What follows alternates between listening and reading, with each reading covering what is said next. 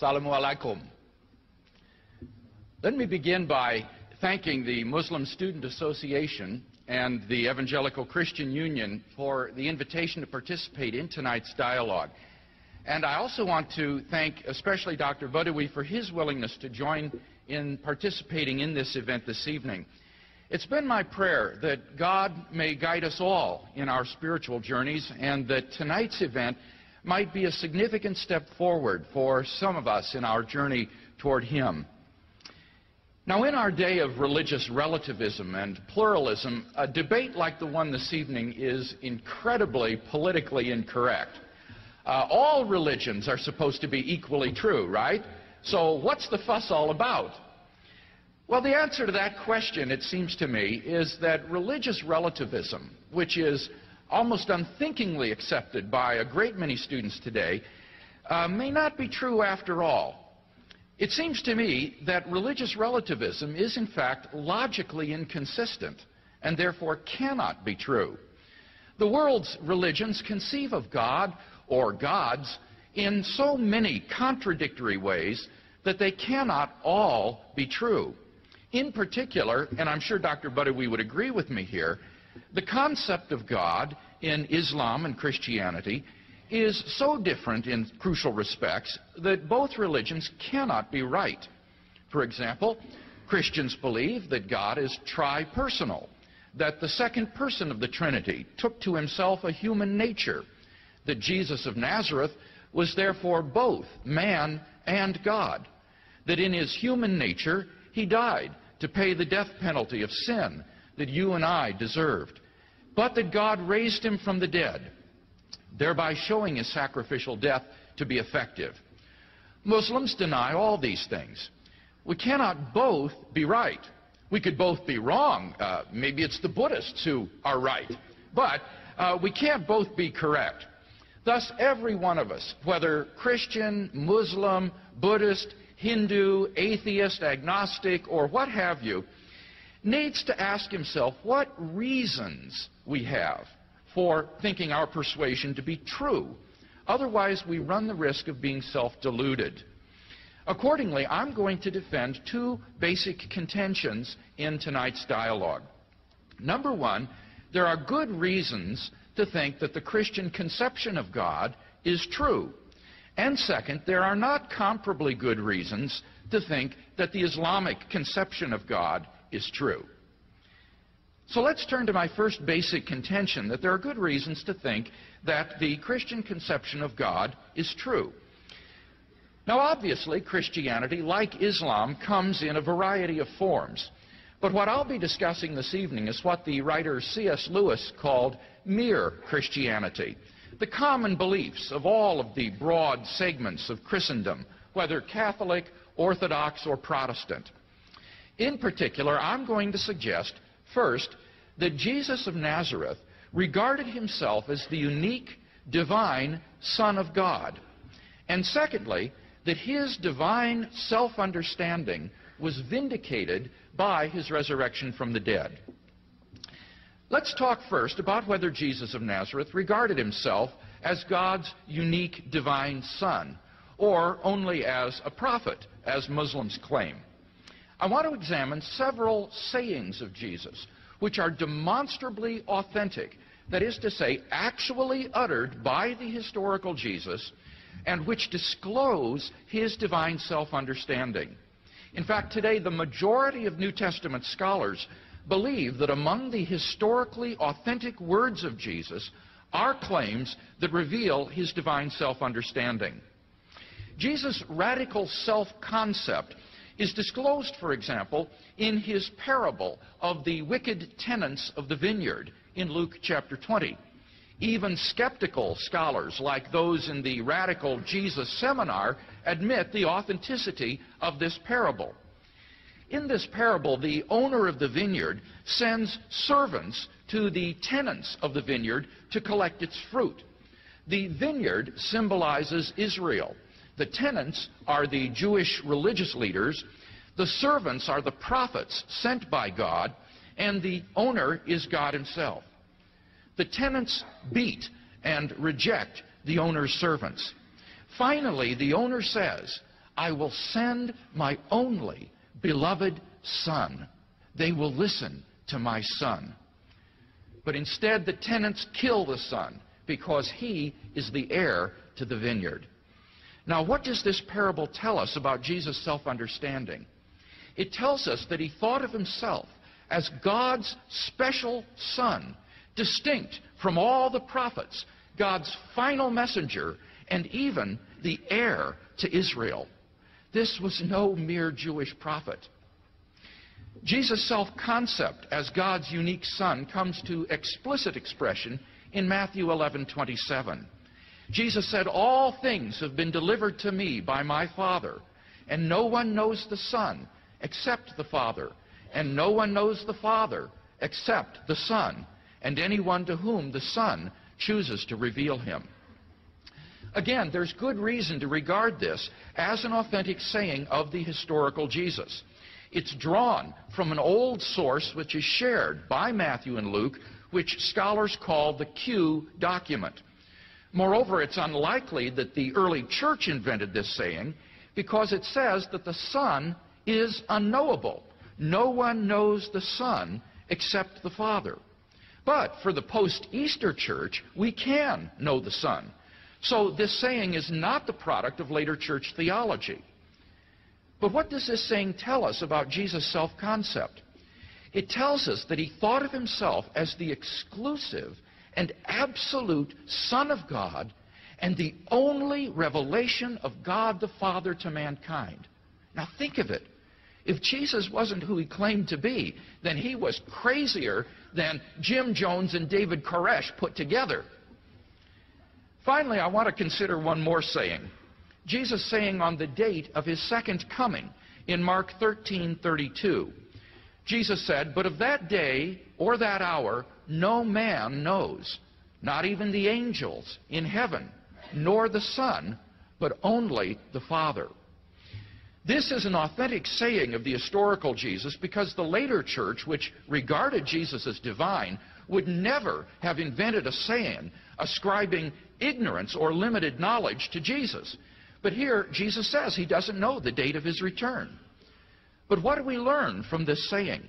It not only reveals Jesus' self-consciousness of being the one Son of God, but it also presents us with an ascending scale from men to the angels to the Son to the Father.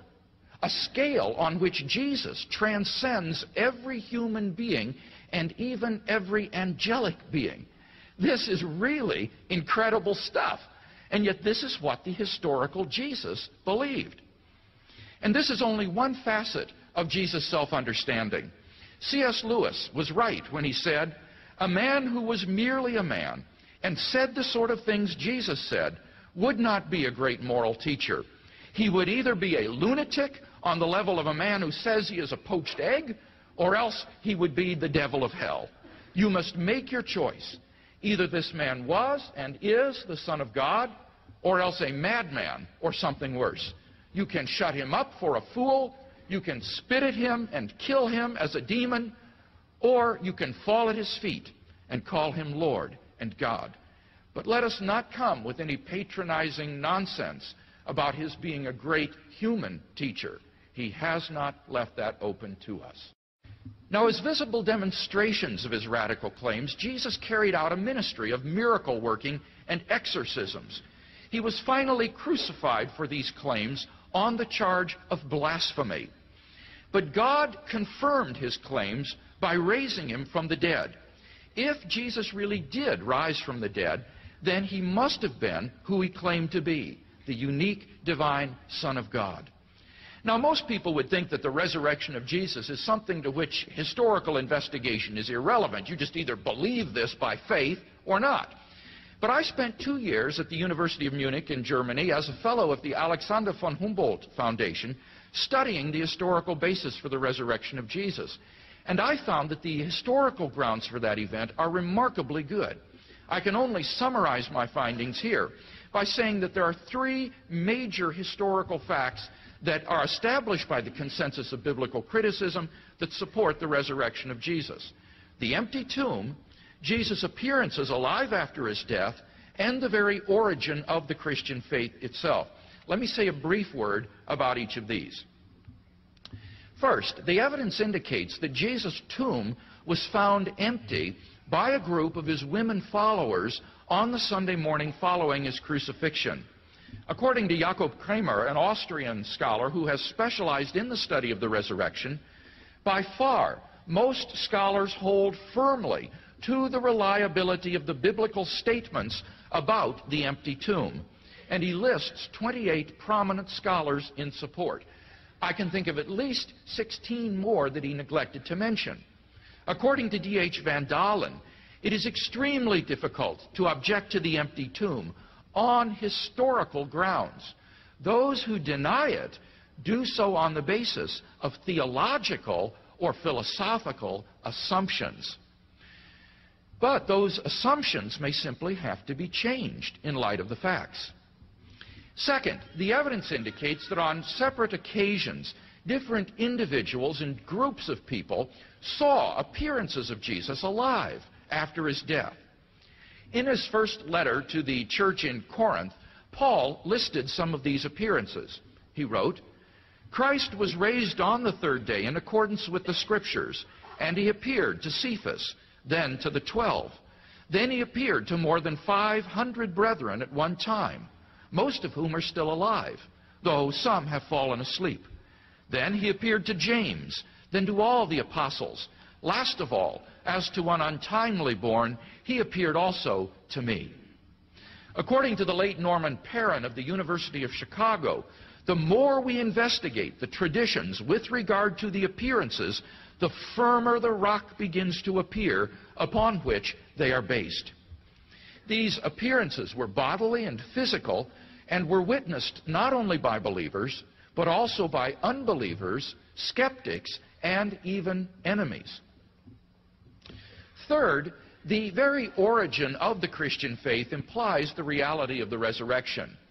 All historians agree that Christianity sprang into being because the original disciples sincerely believed that God had raised Jesus from the dead. And they proclaimed this message everywhere they went. But where in the world did they come up with that outlandish belief? Well, if you deny that Jesus really did rise from the dead, then you've got to explain the origin of the disciples' belief in terms of either Christian influences or Jewish influences. Now, obviously, it couldn't have been the result of Christian influences for the simple reason that there wasn't any Christianity yet. But neither can it be explained by Jewish influences, because the Jewish concept of resurrection was radically different from Jesus' resurrection. As the renowned New Testament scholar Joachim Jeremias puts it, nowhere does one find in the literature of ancient Judaism anything comparable to the resurrection of Jesus. Apart from the resurrection of Jesus, the origin of the disciples' belief remains inexplicable. Attempts to explain away these three great facts, like the disciples stole the body or Jesus wasn't really dead, have been universally rejected by contemporary scholarship. The simple fact is that there just is no plausible, naturalistic explanation of these facts. And therefore, it seems to me the Christian is amply justified in believing that Jesus rose from the dead and was who he claimed to be. Thus, it seems to me that there are good reasons to believe that the Christian conception of God is true. Now, the Muslim conception of God shares many elements of similarity with the Christian conception of God. This is only to be expected, since historically Islam is an offshoot of the Judeo-Christian tradition. It therefore has many elements of truth. Nevertheless, I do not see any comparably good reasons to think that the Islamic conception of God is wholly true. Now, I sincerely hope that in saying this, I do not offend anybody. I am not trying to put anybody down or uh, attack anyone personally. But I'm simply asking the question, what good reason is there to think that the Islamic conception of God is true. As the Quran says, produce your proof if you speak truly. Let me share two reasons why I am persuaded that the Islamic conception of God is not adequate. My misgivings are both philosophical and historical. My philosophical difficulty is that Islam seems to have a morally inadequate concept of God. Muslims and Christians agree that God is the greatest conceivable being by definition. If there were anything that you could conceive of greater than God, then that would be God. Thus, necessarily, God is the greatest conceivable being. Now, besides being all-powerful, all-knowing, all-present, and so forth, the greatest conceivable being must also be all-loving. For it's obviously better to be loving than unloving. And God is a morally perfect being. Therefore, God, as the morally perfect being, must be all-loving. And this is exactly what the Bible affirms. The Bible says, God is love. In this is love, not that we loved God, but that He loved us and sent His Son to be the sacrifice for our sins. Or again, it says, God shows His love for us in that while we were yet sinners, Christ died for us. What a contrast when we read what the Quran says about God's attitude towards sinners. According to the Quran, God does not love sinners. Listen to the following passages. God loves not the unbelievers. God loves not evildoers. God loves not the proud. God loves not transgressors. God loves not the prodigal.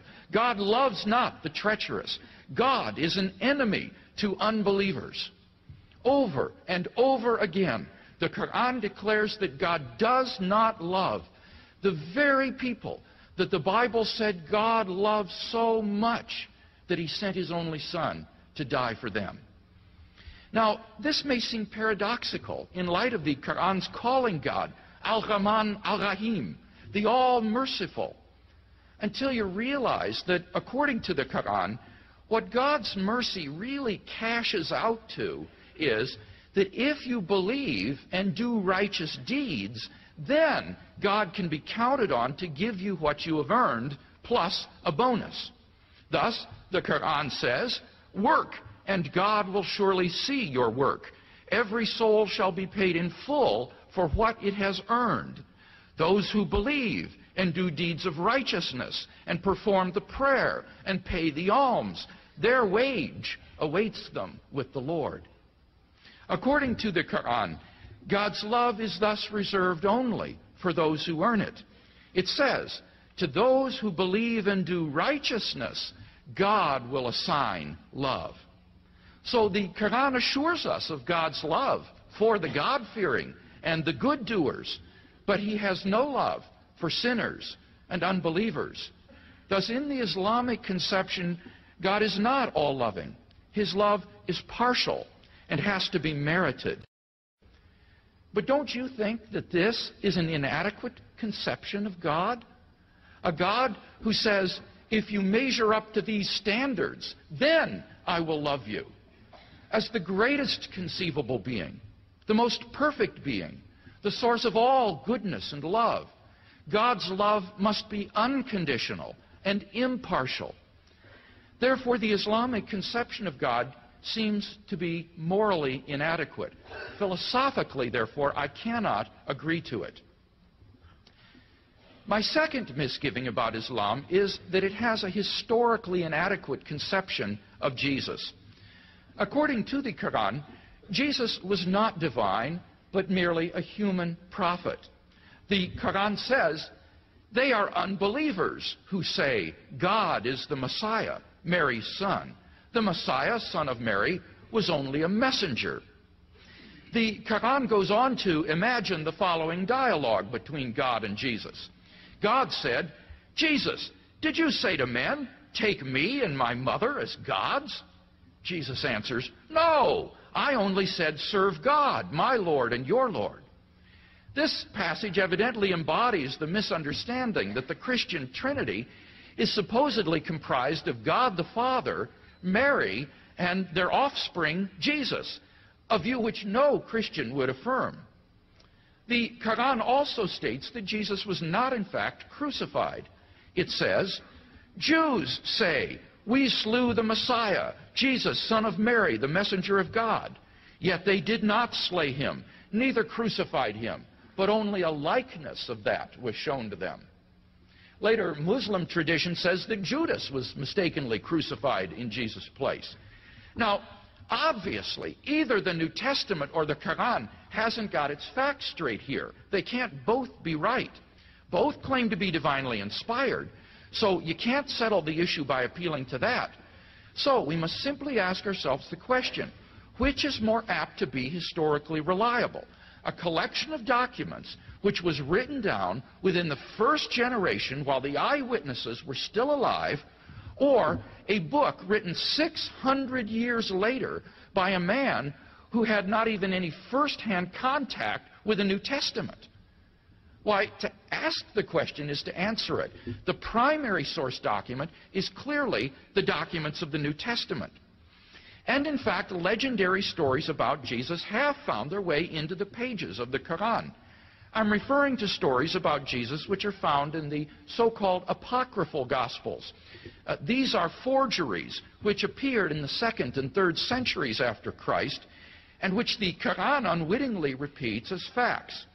For example, the Quran mentions the story borrowed from the apocryphal infancy gospel of Thomas of how the boy, Jesus, made a bird out of clay and then made it come to life. The story of Jesus' birth is also fancifully embellished in the Quran. Jesus comes out of Mary's womb talking and expounding Islamic theology. Here's how the Quran describes Jesus' birth. When Mary felt the throes of childbirth, she lay down by the trunk of a palm tree, crying, Oh, would that I had died. But a voice from below cried out to her, Do not despair. Your Lord has provided a brook that runs at your feet. And if you shake the trunk of this palm tree, it will drop fresh ripe dates in your lap. Therefore rejoice, eat, and drink. Carrying the child, she came to her people, who said to her, Mary, you have surely committed a monstrous thing. Your father uh, was not a wicked man, nor was your mother unchaste. She made a sign to them, pointing to the child. But they replied, How can we speak to a babe in the cradle? Whereupon he spoke and said, I am the servant of Allah. He has given me the gospel and ordained me a prophet. His blessing is upon me wherever I go, and he has commanded me to be steadfast in prayer and to give alms to the poor as long as I live. He has exhorted me to honor my mother and pur has purged me of vanity and wickedness. I was blessed on the day I was born. Blessed shall I be on the day of my death, and may peace be upon me on the day when I shall be raised to life. I think it's painfully obvious that this story has been rewritten in light of Islamic theology. Equally unreliable from a historical point of view is the Quran's allegation that Jesus was not in fact crucified a fact which even Robert Funk, the chairman of the Radical Jesus Seminar, recognizes as, and I quote, one indisputable fact about Jesus. It seems very clear then that the Quran presents us with a historically inadequate and therefore inaccurate picture of Jesus. For these and other reasons, even if I were not a Christian, I still could not become a Muslim. There's just no good reason to think that the Islamic conception of God is true. So in summary, we've seen two good reasons to think that the Christian conception of God is true. First, Jesus of Nazareth regarded himself as God's unique divine Son. And second, his divine self-understanding was vindicated by his resurrection from the dead. Moreover, we've seen two good reasons to think that the Islamic conception of God is not wholly true. First, Islam seems to have a morally inadequate conception of God. And secondly, Islam has a historically inadequate conception of Jesus. It seems to me, therefore, that when we weigh the evidence as dispassionately and objectively as we can, the evidence suggests that God has revealed himself decisively to mankind in the person of Jesus of Nazareth. Through him, we can come to know God's wonderful love and forgiveness. Alhamdulillah wa salatu wassalamu ala Rasulillah.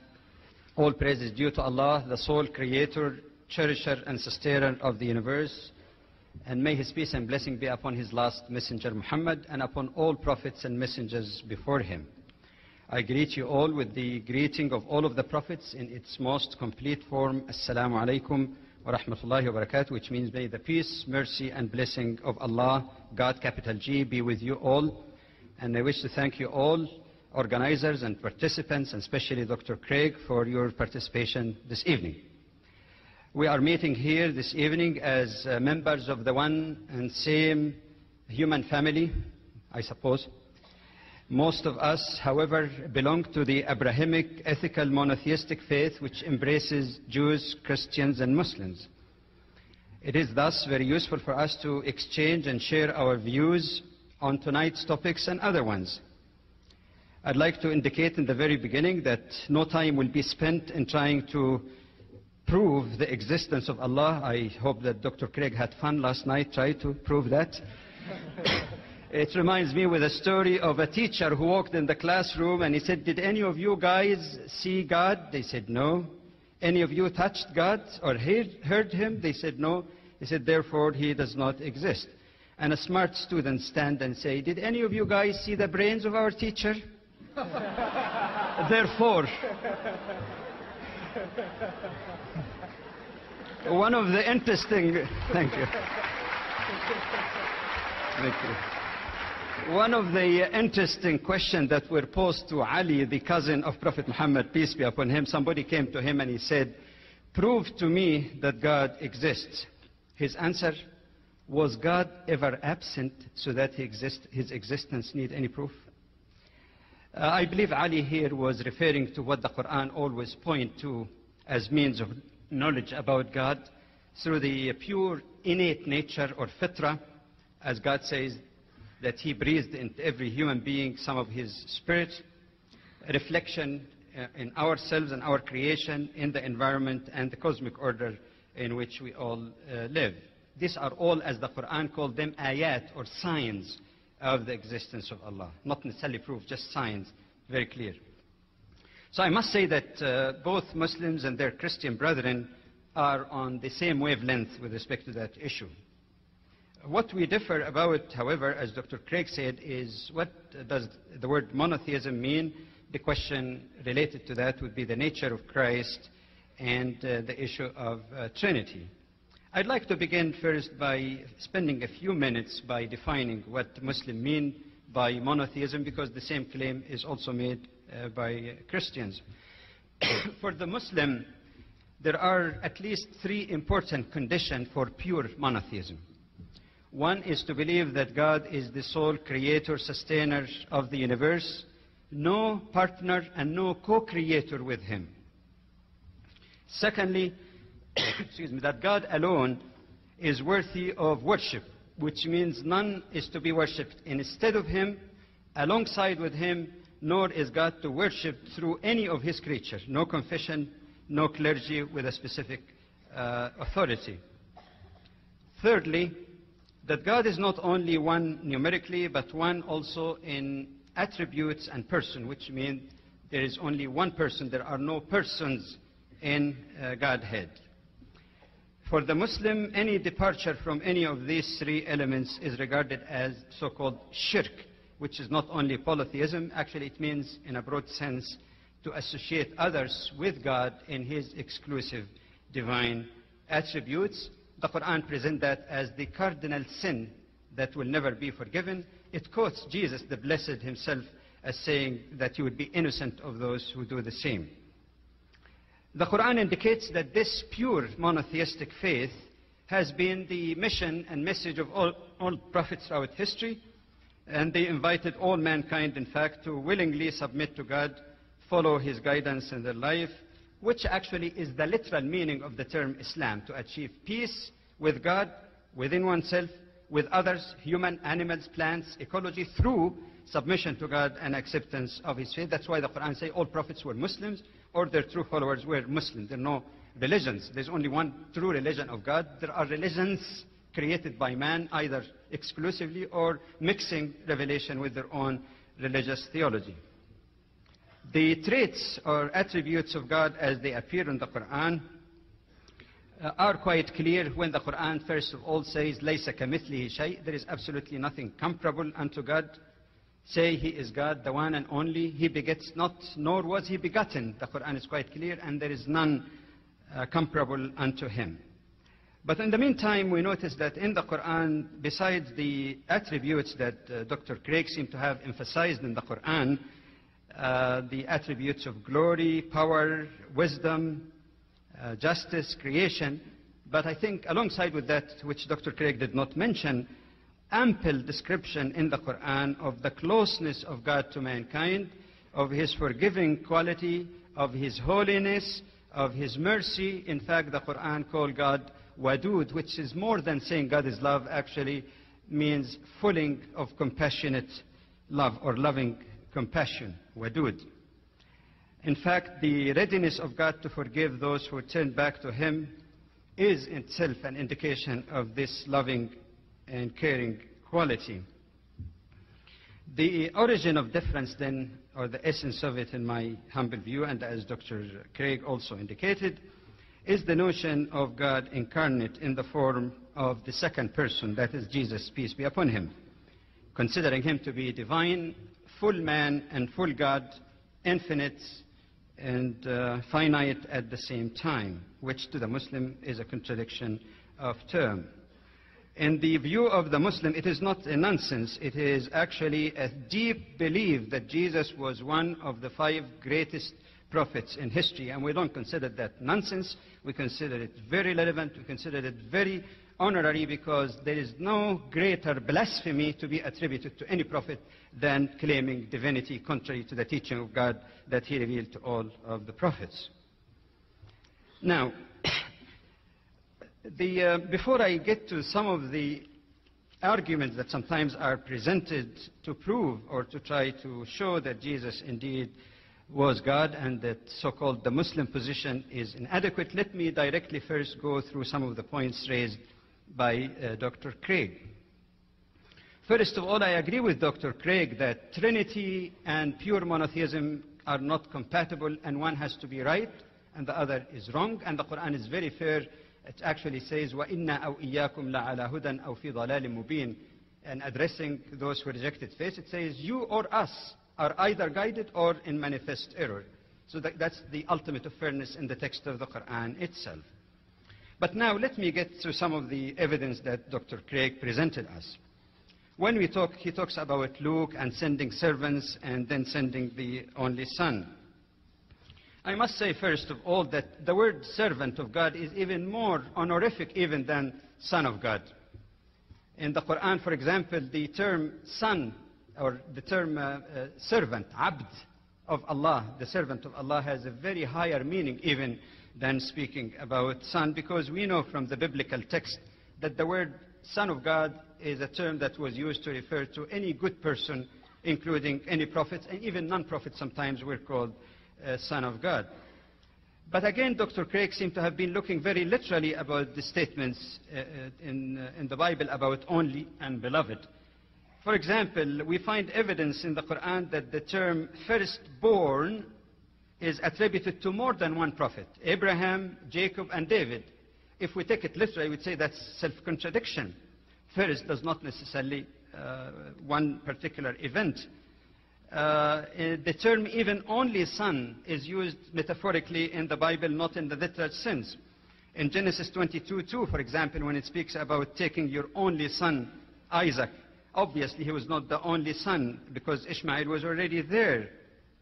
But what is more important when we speak about this notion of son, that 86 times in the New Testament, Jesus is referred to as Son of God. Not once was he ever referred to as God the Son. That theology that developed later, and this is extremely significant. Dr. Craig raised also the issue about Matthew 11:27, when Jesus said that God gave me everything. Well, logically speaking, if someone is receiving and someone is giving, the one who's giving is greater and he's the only one God. Furthermore, if we take it literally that God me, gave me everything, then there is no Trinity because God or the Father is totally emasculated and he has nothing because he gave everything already. So if you want to take it literally, it goes uh, both ways. Uh, Dr. Craig raised the question about the knowledge of the hour. But that itself actually is admission that he is not divine because one of the attributes of divinity is to know the hour, not to be unaware of what's going to happen in the future. As far as various statements made by the disciples to express their own religious experience, uh, man, angels, that Jesus is less than the angels or more than the angels, this is really immaterial because all of these, including the highest of angels, are creatures of God and even if Jesus is greater or lower, still God is a category by himself. John Hicks, in his introduction to the myth of God incarnate, indicates that this terminology should not be taken literally, and he said that, in his opinion, these are, were poetic statements used by the disciples or writers of the Gospels to express the significance of Jesus to them. Dr. Craig also mentioned about the miracles made uh, by Jesus or through Jesus. Aside from all these details about resurrection, because there are lots of questions about resurrections, by the way, and crucifixion, and it's not that unanimous. In fact, one time I had a full debate on that subject alone. But aside from that, I'd like to say two basic points. First of all, the fact that God raised Jesus, and there are places in the New Testament where it says God raised him, not that he raised himself itself shows that there is greater power who's ever living, who never dies, who raised him from the death. And resurrection is not a big deal and does not make a person really divine. God raises whoever he wishes. In fact, as you notice in a little brochure that will be available out, it's called Jesus in the Quran and the Bible. There is evidence in the Old Testament or Hebrew scripture in the first book of Kings, second book of Kings, in the Ezekiel, that God raised people from the dead, and sometimes even when the body of a dead person touched the bones of a prophet, he came back to life. And after all, God is going to raise us all in the day of judgment and resurrect us. Does that necessarily mean that we will be promoted to the position of Godhead? Okay. The uh, question of rejection of Islam, because I couldn't see in any of the points, quite frankly, that Dr. Uh, Craig presented to defend the concept of Christianity, I didn't find anything really that's convincing, and I'll come back to some more even on this if I have the time. But let me first make rebuttal for what he said about rejection of Islam. First of all, I would definitely reject uh, Dr. Craig's statement that Islam is an offshoot of Judeo-Christian tradition. This is based on the false assumption that when two texts or two revelations are similar, then the latter must have copied from the earlier. But we know all, even from synoptic studies in which he is very competent and aware, that it is also possible to have another explanation that both texts, in spite of the time difference, might have been based on a third common source. This is exactly what Muslims believe. That God, it is God who revealed the Torah to Moses, it is God who revealed the Injil or Gospel to Jesus, and it is the same God who revealed the Quran to Prophet Muhammad. So what is wrong with having similarity? It does not mean offshoot, and Muslims definitely reject this notion of offshoot. It's coming from the same source from which Judaism and Christianity based its beliefs. Dr. Craig that says from the philosophical point of view, he says that Muslims do not have a morally adequate concept of God because of this notion of love. I have already indicated before the notion of love, which is already there in the Quran directly and indirectly and can be found in dozens and dozens and dozens of verses. But I think Dr. Uh, Craig perhaps had a poor exegesis of the Quran. I think he doesn't understand the mode of expression in the Quran, and that's why he came up with this erroneous conclusion that it is morally inadequate. When the Quran says that God does not love the cruel, the unbelief, rejecter of faith, and all kind of evil uh, deeds. It's actually a metaphor of referring to rejection and not loving evil deeds. And when God speaks about loving the believers, loving those who are kind, it does not mean that it is an exclusive love for those people. it is also a metaphor of loving the good deeds. In fact, I would consider it morally inadequate for God to say, I love those who do evil and those who do good equally, and as such leaving us with the conclusion that it doesn't really make any difference, and that when uh, Adolf Hitler uh, encounters Mother Teresa uh, in some place in paradise, he smiles at her and says, Mother Teresa, after all, it didn't make any difference, did it? but I think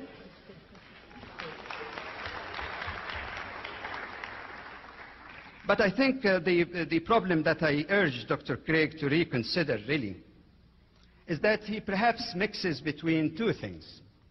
Between uh, statements made in the Quran about loving and hating to refer to the good deeds and evil deeds in order to give us the moral inducement. That is morally adequate. That is the ultimate of moral adequacy, is to make a distinction between good and evil. But the other thing that he seemed to have mixed with it is the notion of God caring and loving human beings in spite of their evil. And in that we don't differ. For example, as Prophet Muhammad, peace be upon him, said it once, he said, if this world is worth even a wing of a fly, God would have not given the unbeliever even a drink of water from it. So people disobey God and defy them. He still let them breathe, let them eat, provide them with food, and all of that, give them a chance. And then after all of that, he says that still if you repent and come back to me, your sins are blotted and I'll forgive you and receive you. There is a very beautiful description in hadith of the Prophet, peace be upon him, that a person who comes to God repentant, God will be so happy, more happy than a man who lost in the desert and all of a sudden his camel left him with all his provision when he got his camel back. In one of the hadith Qudsi, God narrates to the Prophet that if you come to me one inch, I'll come to you one arm. If you come to me walking, I'll come to you running. Literally, God coming to you running. So I think there is a bit mix between God caring about all, including those who are disobedient, and if he doesn't care about them, why did he send prophets to guide them and to help them and open the door of his mercy for them? Having said that much and as much time would allow, I even go beyond what uh, Dr. Craig said because I did reject and made rebuttal for both his presentation against Islam and in defense of his own belief. First of all, when you refer even to statements attributed to Jesus, peace be upon him, claiming divinity, we always heard this, John 14, I am the way, the truth, and the life. Nobody comes unto the Father but by me. I said, Amen. Every prophet speaks not for himself, and Jesus himself said that in John. He speaks for God who sent him. And since the way to God is one way, then a prophet in his lifetime is the way, the truth, and the life. Nobody can reach God except by following the way that God revealed to that prophet. That he said, I and the Father are one in John 10. But also in John 17:11, he spoke about being one with his disciple. In John 14:20, he said, I am in you as the Father is in me. Which means then the oneness with the Father is only oneness in purpose, not in divinity or essence let alone the Greek words. I don't have time to elaborate on that. There's more evidence to support that as well.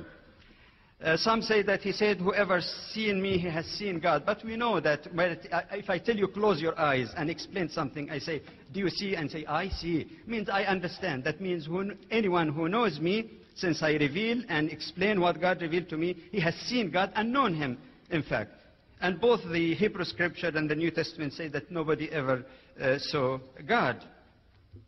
It is reported also that he said to Thomas when he said, My God and my Lord, he did not say anything to him uh, and did not rebuke him. But again, we find some biblical scholars who go back and say that there are certain modes of expression in Greek, and they provide an alternative translation that you, my godly Lord, this is a legitimate translation, they suggest, my godly Lord, or means that you are godlike, not literally that you are my God. It is said that according to Mark 14 that he accepted worship from others.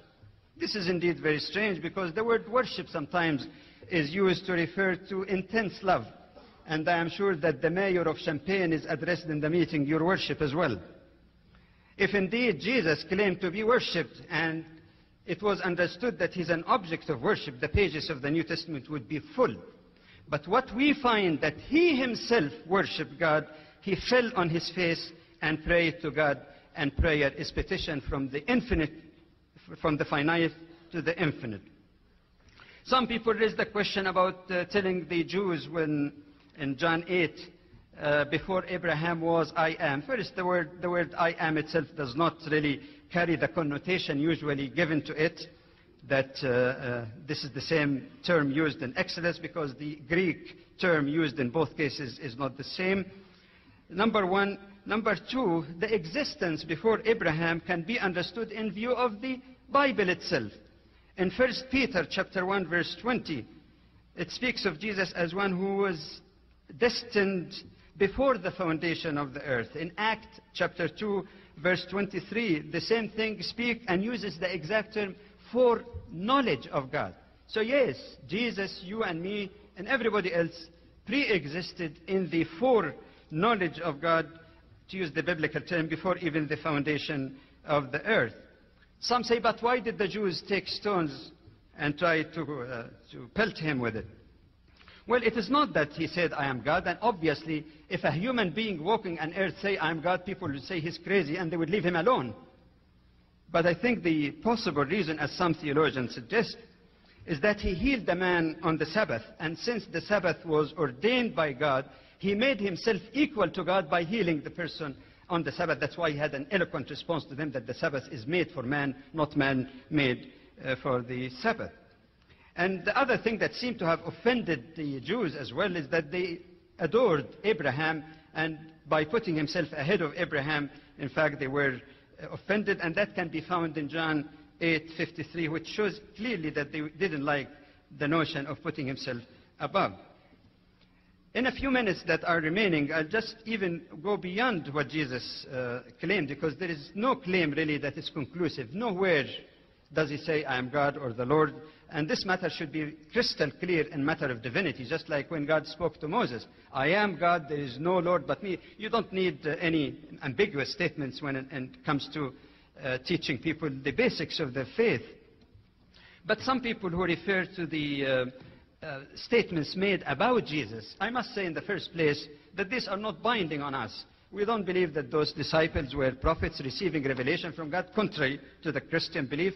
But even if you look at them, and of course their statement would be less authentic than his own statement, and none of his statements really made that uh, irrevocable and clear claim. Uh, the question of uh, Son of God we talked about. The question of, um, of um, baptism, for example, that appear in Matthew 28 we find that this is written in manuscripts beginning from the 4th century when the doctrine of Trinity became already official. One of the uh, historians of the church, some of the historians of the church noticed that Eusebius, the famous historian who died in 340, uh, referred to the same uh, quotation in Matthew 28, 19, 18 times without the using the so-called Trinitarian uh, baptismal formula which indicate, of course, it came later in his writing after the Nicene Council, which shows the great political factors that led to uh, Trinity being adopted. This is another issue about Constantine and his role in this. Even in the New Testament itself, we find numerous cases where the baptismal formula did not include the Trinitarian form, only in the name of Christ. You find that in Act uh, 238, 816, 1048, and 19. Uh, 5.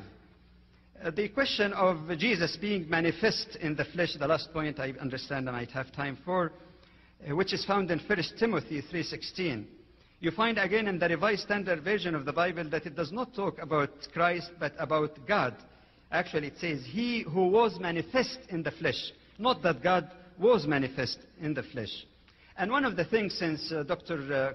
Uh, keep claiming that the Bible is authentic, everything is authentic, there is no disagreement.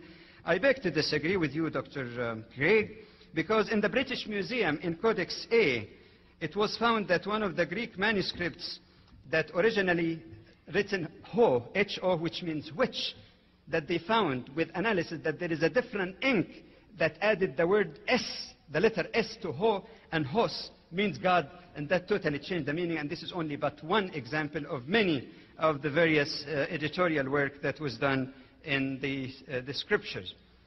I don't know if I still have time, 30 seconds. In that last 30 seconds, I must say, with all due respect to you, Dr. Craig, and I appreciate your presentation and your faith and your uh, ardent view to present it, that you could not present a convincing statement about why Trinity is better, nor could you make any effective rebuttal that Islam has inadequate concept. In fact, Islam does have a morally sound uh, and instinctively acceptable and innately truth concept of the true monotheistic faith.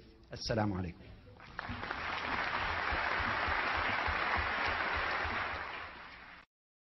Now, you'll remember in my first speech, I said that I was going to defend two contentions in tonight's debate. First, that there are good reasons to think that the Christian conception of God is true. And I had two subpoints here. First, that Jesus of Nazareth claimed to be the unique divine Son of God. And I looked at three sayings of Jesus the parable of the vineyard, Matthew 11 27, and Mark 13 32. I argued, first of all, that all of these are authentic sayings of the historical Jesus, and it's noteworthy that Dr. Badawi did not disagree with this, that these are authentic sayings of Jesus. So we can't dismiss them as being later corruptions. These are historically authentic to the historical Jesus. And therefore, the whole debate hinges on the interpretation of these passages. Do they, in fact, imply Jesus' divine self understanding? In the parable of the vineyard, I think that it does, because Jesus says that he is the unique Son of God and that he is distinct from all the prophets, the final messenger sent by God to Israel.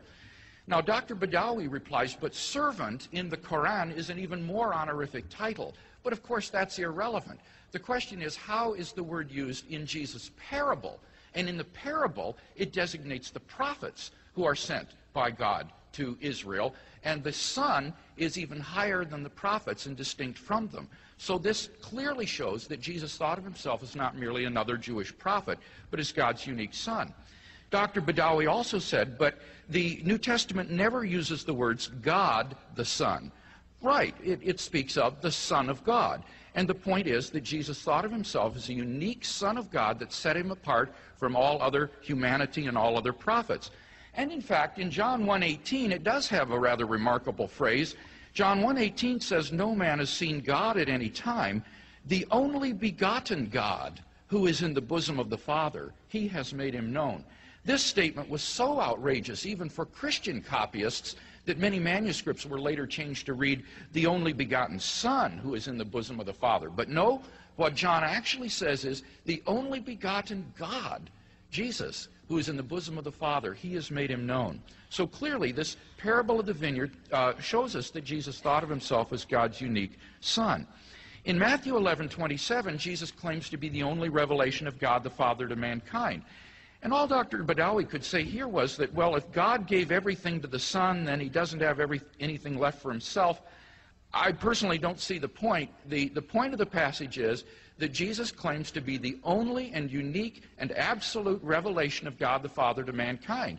That belongs to the historical self-understanding of the historical Jesus, like it or not. What about Mark 13:32, uh, Jesus saying on the date of his second coming? Again, Dr. Badawi didn't deny that this shows Jesus thought of himself as higher than any human being, higher than any angelic being, and uh, approximate to the Father. But he says, well, as God, Surely Jesus must know the time of his return. Not when Jesus is speaking in his human nature. I believe in a genuine incarnation, and as a human being, the full divine omniscience that Jesus possessed as God was not in his waking consciousness. Thus, you have in the New Testament a genuine baby Jesus, not the sort of baby Jesus that you have, as I read in the Quran story, where he comes out giving theological discourses. Uh, similarly, Dr. Badawi says, but Jesus himself worshiped God. Yes, in his human nature, Christians believe Jesus was genuinely a human being, and as such submitted to and worshiped God uh, the Father. But notice that he doesn't deny the import of these passages that they teach Jesus' divinity and his unique sonship. He quotes John Hick as saying that these are just poetic passages. John Hick was my doctoral advisor at Birmingham. Dr. Hick is not a New Testament scholar. He is a, a theologian who lost his faith in the divinity of Christ uh, and has more or less become what is a modern day Hindu. I would agree that the expression Son of God is metaphorical, just as the word Father is metaphorical. But it is a metaphor for indicating the closeness of Jesus and the divinity of Jesus being of same nature as the Father. But it doesn't mean that Jesus is the physical offspring of God, as the, the Quran uh, seemed to uh, reject. Dr. Badawi says, but Thomas's uh, confession, my Lord and my God, does not mean that he thought of Jesus as God. It simply means my godly Lord. That's just a woeful mistranslation of the Greek. The, the Greek is hakuriasmu kai hatheasmu, the God of me and the Lord of me. And that is clearly the Christological climax of the Gospel of John, Thomas's confession of the deity of Jesus, for which Jesus says, Blessed are you, Thomas, because you have believed, uh, and blessed are those who believe without even seeing. So it seems to me that we have very good reason for thinking that Jesus did claim to be the unique and divine Son of God. Let me reinforce this by simply pointing out Jesus claimed to be able to forgive sins. His parable showed that he had a consciousness of forgiving sins, and his table fellowship with sinners also showed that he uh, was acting out in a living parable his forgiveness of their sins. Royce Gruenler, a New Testament scholar, says Jesus is constant, uh, consciously speaking as the voice of God on matters that belong only to God. The evidence clearly leads us to affirm that Jesus implicitly claims to do what only God can do to forgive sins. The religious authorities correctly understood his claim to divine authority to forgive sinners, but they interpreted his claims as blasphemous and sought his crucifixion. That's why Jesus was crucified, as we saw, on the charge of blasphemy. So I think we have good reasons for saying that a divine self-understanding belongs to the consciousness of the historical Jesus. Secondly, I argued that the resurrection of Jesus vindicates Jesus' radical claim. And I looked at three facts which are agreed upon by the consensus of New Testament scholars today. The empty tomb, the appearances of Jesus, and the very origin of the Christian faith. Notice that Dr. Badawi did not deny any of these three facts. So that uh, these facts stand firmly established by the consensus of scholarship today. What he tried to do was to soften the impact of those facts by saying, well, but a resurrection doesn't make you divine. I agree entirely, it doesn't. But what it does do is it confirms Jesus' claims to divinity for which he was crucified. It is, as it were, God's divine confirmation of those radical claims for which he was crucified. As Wolfhart Pannenberg, the German theologian, has said, the, crucif- or the resurrection of Jesus takes on such important significance because it's not just anybody or someone who was resurrected from the dead, but because it is Jesus of Nazareth whose execution was instigated for his blasphemous claims. If the God of Israel has raised him from the dead, this means that the God of Israel has clearly vindicated those claims for which Jesus was crucified. Dr. Badawi says, but there are many resurrections in the Old Testament. Not at all. Those are revivifications, the return to the earthly life. Those people will die again. The resurrection to eternal life and glory is unique in the person of Jesus and thus without parallel. So it seems to me that we have both good evidence for the resurrection of Jesus, plus we see the theological significance of the resurrection of Jesus in its confirmation of Jesus' radical personal claims. Now, what about my second contention that there are good, or there are not comparably good reasons to think that the Islamic conception of God is wholly true? Notice that Dr. Badawi didn't give any arguments for the Islamic conception of God. He explained what they believe, and he said, I don't have to prove that God exists, and I agree with that, but he didn't give any positive arguments to show the Islamic conception of God is true. Now, I gave two reasons why I think the Islamic conception of God is not wholly true. First, it seems to me morally inadequate. Notice that he agrees with me that God as the perfect being must be all-loving. So the issue here is, is the God of the Quran all-loving? And he says, yes, he is, because the word wadud is affirmed of God, that he's full of love uh, and, and compassion. But Dr. Badawi then gives away his case by saying in the next sentence, he is willing to forgive those who will turn back to him. Thus, you see, God's love is conditional. It is not towards sinners and unbelievers. It is not an unconditional love. As Daoud Rahbar in his book, The God of Justice, writes, unqualified divine love for mankind is an idea completely alien to the Quran. Nowhere do we find the idea that God loves mankind. God's love is conditional. Jesus says in Luke 6:32, "If you love those who love you, what credit is that to you? Even sinners love those who love them." And yet this is the highest level to which the God of the Quran rises in his love for human beings. He loves those who love him, who turn to him. In fact, Dr. Badawi, in his uh, brochure on building bridges between Christians and Islam, virtually admits this. Listen to what Dr. Badawi says. He says, correct belief and good deeds are prerequisites for God's grace and forgiveness and for rising above our common shortcomings. You see, it's grace that requires prerequisites. It's not truly grace. We're talking about wages here, about earnings. And uh, this isn't just my Western interpretation. Mohammed Zia uh, Ullah, in his book, The Islamic Conception of God, he is a, a, a Muslim, uh, explains the attribute of God being all merciful by saying God rewards our deeds fully. That's what the mercy of God means. He rewards our deeds fully. And he says, we cannot have the least doubt that he will respond to our love by his. You see, it's conditional. It's to those who love him. Those are the ones he assigns love to. So the Quran says things like, God loves those with goodwill toward others. God loves those who incline to him. God loves those who are clean of heart. God loves those who are ready to fight in his cause. God loves those who prove steadfast in trials. Well, how do you measure up? Does God love you? Not unless you measure up to those standards. Now, Dr. Badawi says, well, look, it just means that God doesn't love the unbeliever's deeds, and he loves the deeds of the believers. Well, I hope that's true. I really do, but that's not what the Quran says. And he didn't give any argument or proof for that exegesis. The plain statements of the Quran are that God is an enemy to unbelievers. He doesn't love them. He loves those who love him and do good.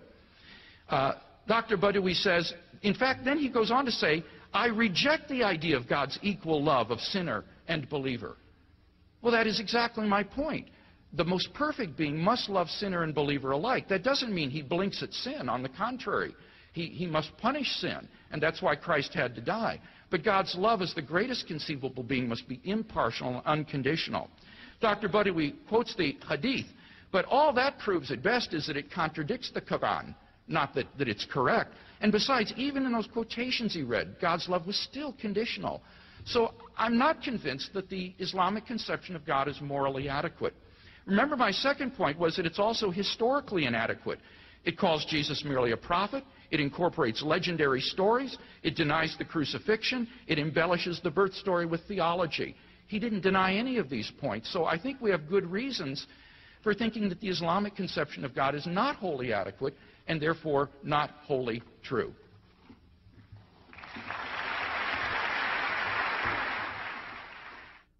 It appears that Dr. Craig has been attributing things to me and putting words in my mouth that I never said. I never said that the Bible is authentic, and the fact that I'm quoting from the Bible means simply that I'm establishing evidence from the scripture that you believe in. Dr. Craig puts in my mouth that I said that the resurrection of Jesus after the three days is correct. I never said that, and you're witnesses to that. I think Dr. Craig is making his own interpretation of my statement, which is totally wrong. Number two, again, Dr. Craig goes to the notion of Son of Man. In fact, the more frequent expression that is found in the New Testament that Jesus referred to himself is not the unique Son of God. This is an interpretation, not the words of Jesus himself.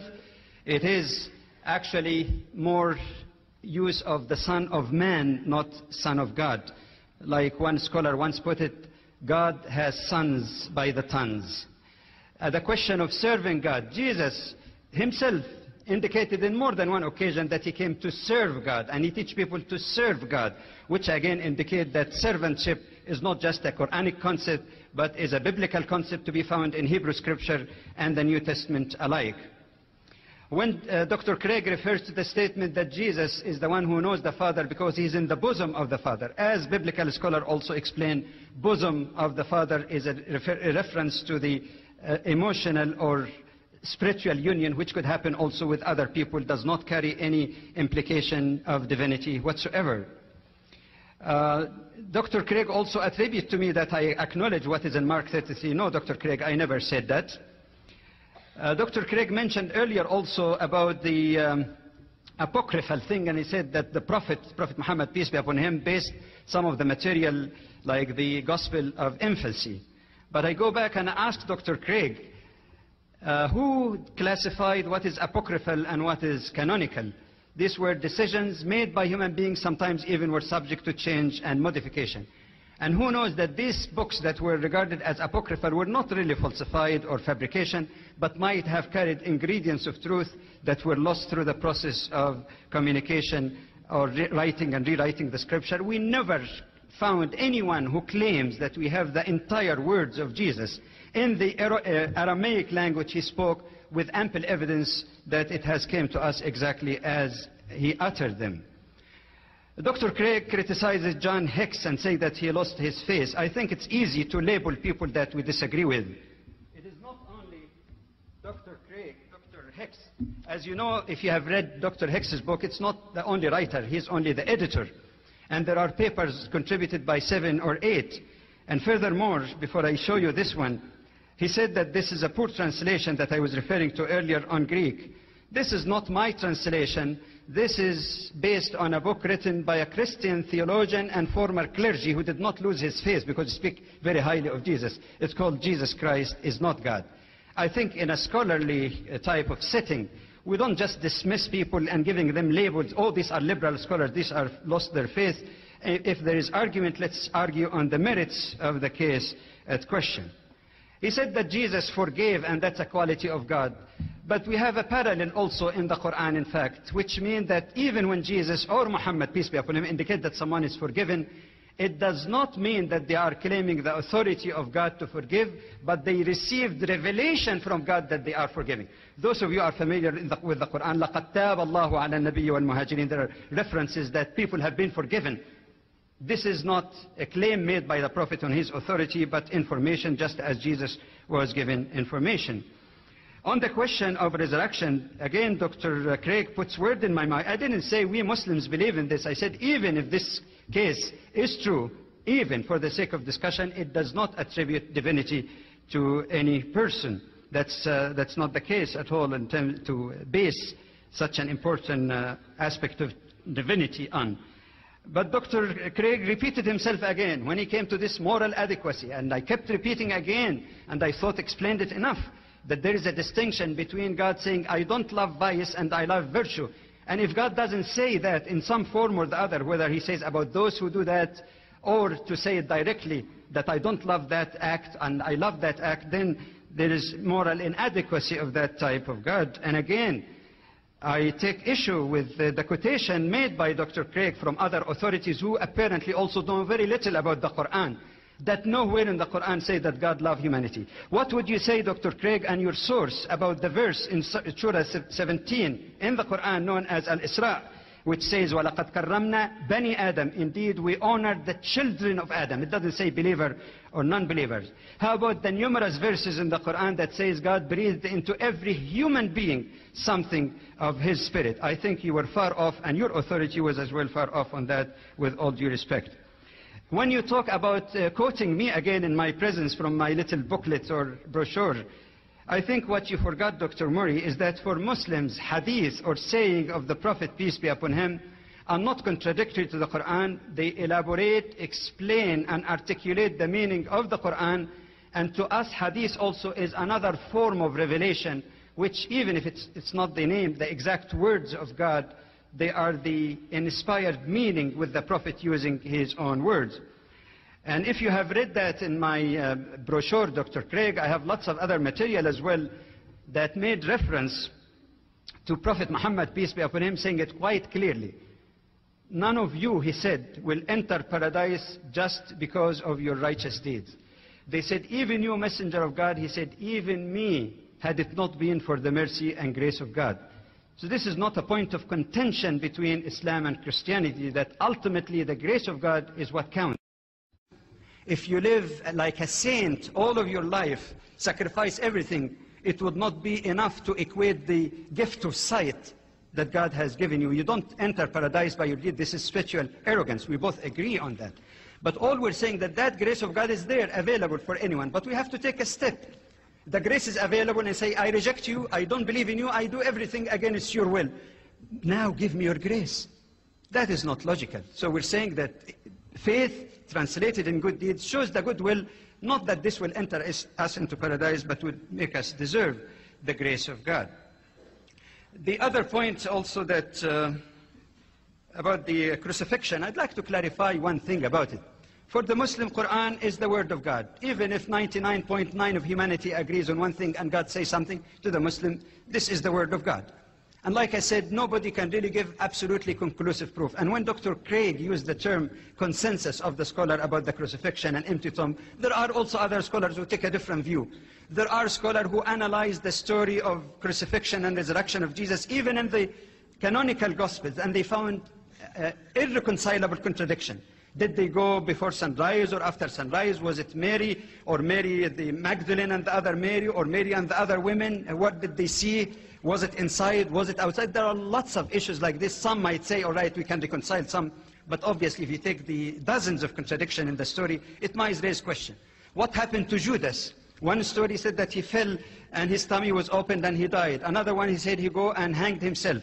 One story that said this was before he returned the money to the Jews uh, in the temple. The other one said it was after this, or that he used the money to buy a farm or orchard. So there are lots of questions. The, the, the consensus that Dr. Craig is talking about is really far from uh, unanimous. But the most important thing really to realize is that while crucifixion and resurrection, which by the way I didn't say I recognize, I say you recognize. I was discussing by your measures. In the Bible uh, is the heart, and I agree, for the Christian theology, is the heart of the teaching of Christianity. For Islam, it doesn't make any difference whatsoever if Jesus was crucified and resurrected or not. If he resurrected, God resurrected him and God is superior to him and he's the servant of God. If he were crucified, for the sake of argument, it doesn't make any difference theologically in Islam because the death, crucifixion, or murder of any prophet does not make him divine. In the time of Jesus, Zechariah, Prophet Zechariah was killed. Also, John the Baptist was beheaded. It doesn't make a, a person really divine because he was martyred for a cause that he espoused. In fact, this very fact proves the honesty of Prophet Muhammad, peace be upon him, and the fact that he did not write the Quran and did not think like politicians. Because the issue of crucifixion was a very, very common belief among Christians. Why should he come into conflict with them if he were the author of the Quran? He could have easily told them, all right, Jesus was killed and resurrected, but so what? It doesn't make any difference. This has nothing to do with the vicarious sacrifice. God is not interested in blood, so he was martyred in his cause. The fact that he stands and reveal and recite exactly what revealed to him, contrary to the consensus, but not all unanimity of his contemporaries, in fact shows that he is simply communicating what God has uh, revealed to him. Um, what else? I think I covered a whole lot in very quickly. All right. The other thing that I take issue with uh, Dr. Craig when he says Muhammad wrote the Quran. This is not just a statement of faith to say that the Prophet did not write the Quran, but there is ample evidence, in fact, rational evidence, including scientific evidence, which shows that the Prophet could have never been the author of the Quran that Dr. Craig rejects and considers to be uh, morally inadequate. In fact, in the Quran, we find minute description of early embryonic stages that has raised wonder in one of the world's famous uh, embryologists, Dr. Keith Moore, and said it is impossible because many of the information contained in the Quran were only discovered after the discovery of the electronic microscopes. There are historical things that were not known, that was men were mentioned in the Quran to be discovered only 14 centuries later. Dr. Bucaille mentioned, for example, about the discovery of the body of the Pharaoh of the Exodus, that the Bible say nothing about the Quran mentioned. Using space technology, something that was mentioned in the Quran and believed by some of the Orientalists to be mythical, the city of Iram in Eden. Again, only after the space technology was discovered, and before that, even 1975 only, when the city of Ibla was discovered in Syria, and they found in some of the ancient Semitic tablets that this um, city actually was dealing or trading with another city by the name of Aram. That was the first time the name Aram came to be real, not mythical.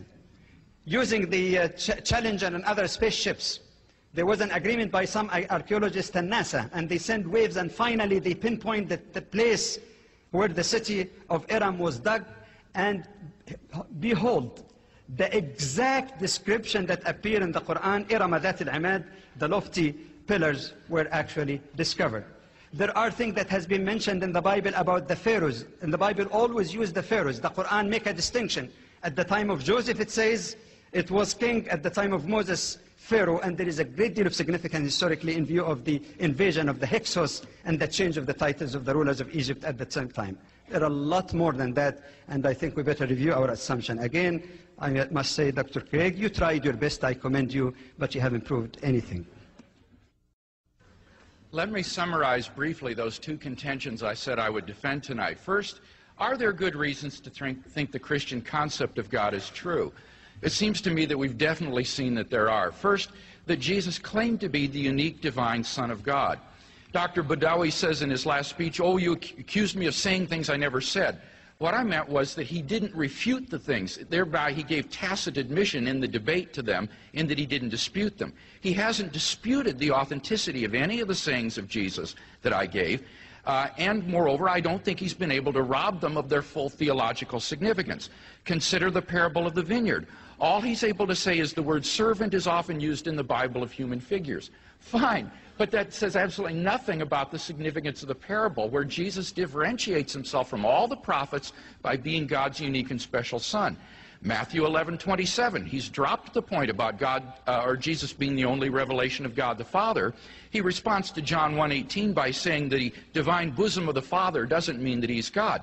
Granted, it's the phrase, the only begotten God, that indicates Jesus' divinity. He didn't dispute that. Mark 13.32, Again, he dropped that point. Instead, uh, he turns to my point about Jesus forgiving sins by saying, well, in the Quran, the property of forgiving sins is ascribed to people. But that's irrelevant. What's in the Quran? The question is, in the Jewish context, in first century Palestine, was this possible for a human being to do? No, as we've seen, that was blasphemous because only God can do it, and yet Jesus did so. Finally, about Thomas saying, My Lord and my God, Uh, he says this isn't a bad translation. My point here is that the Greek is clear. I've got a Greek New Testament here, and the words are the God of me and the Lord of me, and that is a full Christological confession to the deity of Christ. So we've seen no good reason to dispute my first point that the historical Jesus conceived of himself to be the divine Son of God. Second, his resurrection vindicates his radical claim. Notice that in tonight's debate, Dr. Badawi has not disputed the facts of the empty tomb, the resurrection appearances, or the origin of the Christian faith. All he said now in the last speech is this remarkable statement, but I could admit these things and it doesn't make any difference. Of course it makes a difference, because then the Quran is wrong. Because the Quran says Jesus was not crucified, much less raised from the dead.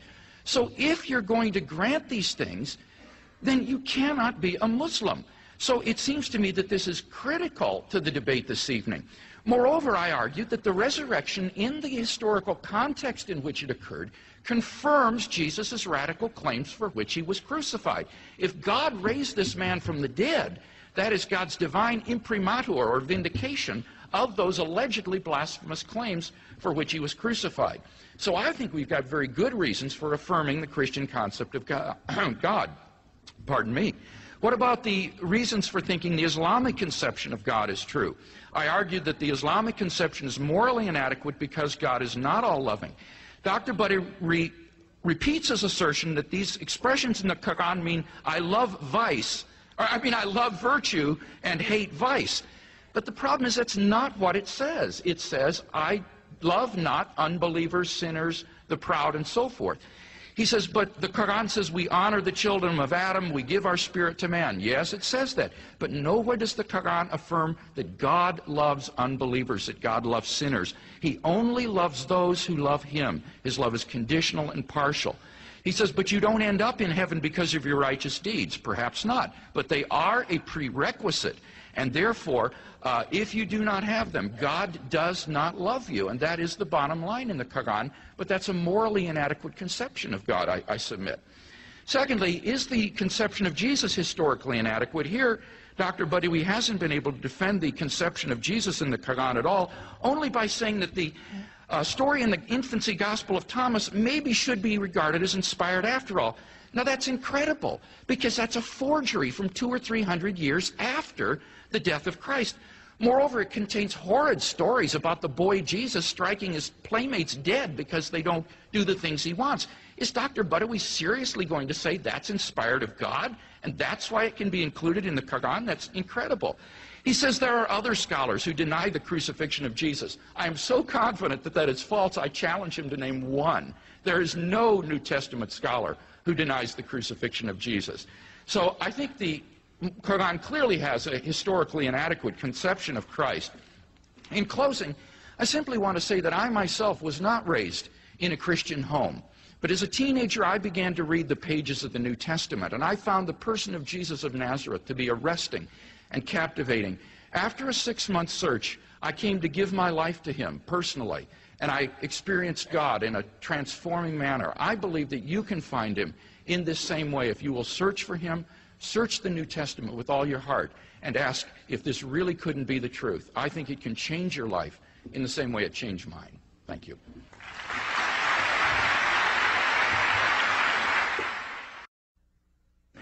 First of all, I'd like to correct you, Dr. Craig. Striking, Jesus striking someone to death is not in the Quran. Give me the reference to that. There is no reference to that whatsoever in the Quran. Secondly, you keep putting the word in my mouth that I recognize resurrection Uh, and crucifixion. But let me conclude first by saying, the Hebrew scripture, which is the basis and the foundation of Christian belief, does not have any reference whatsoever to the concept of Trinity, and the word Trinity appear nowhere in the Scriptures. In fact, the Old Testament makes it clear that it is a blasphemy against God to associate any with Him in His divine attributes. Secondly, in the New Testament, we fail to find any conclusive, more clear statement, not arguable statement that could be interpreted in more than one way that shows that Jesus indeed claimed to be divine. If he were divine, he would have put it in no uncertain terms and not cause confusion even amongst theologians themselves. Thirdly, when you say that he did not give adequate reason why Islamic conception is correct, I say, Dr. Craig, the onus is on you. When somebody is born of a woman, and according to the book of Job, chapter 25, verses 4 and 6, nobody can be perfect or complete who is born of a woman. And walked, was circumcised, ate, went to the washroom, lived and uh, slept like all other human beings, then the onus of anyone claiming him to be God must be on the one who make that claim, not the other way around. You don't tell me prove that he's human, because definitely he was human. It is the evidence otherwise that is not uh, available. Fourthly, the other side of the coin that uh, I think we should conclude with, I believe, which is very important, and I kept that to the end.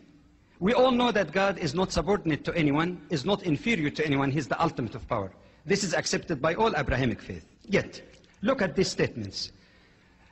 I can do nothing of my own authority. I seek not my will, but the will of him who sent me. John 5:30. But I do as the Father has commanded me. John 14:31. The words that I say to you, I do not speak of my own authority. John 14:10, including informing the person that he's forgiven. I do nothing of my own authority, but speak thus as the Father taught me. John 8:28. But now you seek to kill me, a man, not the unique Son of God, a man who has told you the truth which I heard from God. God doesn't hear from anyone. John 8:40. For the Father is greater than I. John 14:28. But of that day, the day of judgment, the hour, no one knows. I think that has been acknowledged already. Knowledge of the unseen is a prerequisite of God. In addition to his statements, we are also told that Jews, Jesus was circumcised in Luke 2:21. It is difficult to figure out how or why God need to be circumcised when circumcision itself is a sign of a covenant between God and the descendants of Abraham. We are also told that Jesus was increased in wisdom, Luke 2.52, while God's wisdom is eternal and immutable. The story of temptation contradicts the statement in James 1.13 that God cannot be tempted by evil. What is obvious from the Bible, both Old and New Testament, that Jesus was a devout servant of God, not his equal. Jesus prayed to God himself. He fell on his face and worshiped God. But more surprisingly, more surprisingly, In the Gospel according to John, Jesus saying, I am ascending to my Father and your Father, my God, G-O-D, my God and your God. God does, does not ascend to sit on the right hand of himself, that he's ascending to his God. And that again raises a question about resurrection. Muslims do not rule out the possibility that the Quran says Jesus ascended to heaven. There is some form of ascension, there is some form of crucifixion, the explanation of which might vary. Uh, and while uh, some of the writers of the New Testament tended to use these allegorical expressions to ex express their love of Jesus, they did not go as far even as the later dogmas did. For example, in the First Timothy chapter 2, verse 5, we read, For there is one God, and there is one mediator between God and man, the man, Jesus Christ. I believe the evidence is overwhelming that what happened in history was a complete change. Many people have been asking about a religion about Jesus, but they never asked the right question, what was the religion of Jesus? The religion of Jesus was Islam, submission to God, the same that was taught by Abraham, Noah, Adam, and concluded by Prophet Muhammad, peace be upon him. What happened historically really was a change of a religion of Jesus to a religion about Jesus. As Muslims, we follow the religion of Jesus. We love him and adore him as a great prophet. Wassalamu alaikum.